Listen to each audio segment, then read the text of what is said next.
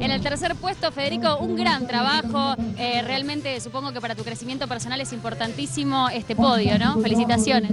Sí, sí, bueno, primero, antes que nada, felicitar a Marcelo por, por la victoria, a todo el equipo, un trabajo estupendo. Eh, como le dije a ellos, aprendí muchísimo en una carrera sola, esperamos ir por más y sumar muchos puntos para poder pelear el campeonato.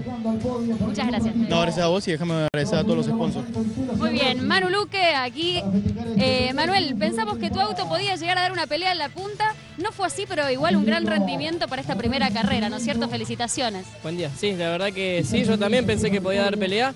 Sobre el principio lo presioné muchísimo a Marcelo, tiré todo lo que tenía. Él cometió un par de errores, pero yo no estaba tan cerca como para sobrepasarlo. Así que, así que bueno, perdía mucha carga atrás de él. El auto se empezaba a venir para atrás, pero de todos modos contento.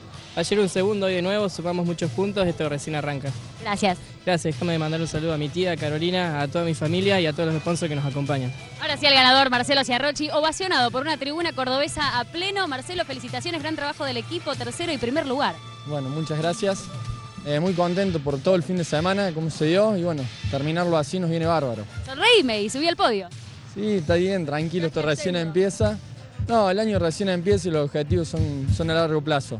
Eh, contento de haber empezado con el pie derecho y nada, feliz, feliz. Agradecerle al equipo y a todos los auspiciantes por esto. Los protagonistas se van a festejar arriba del.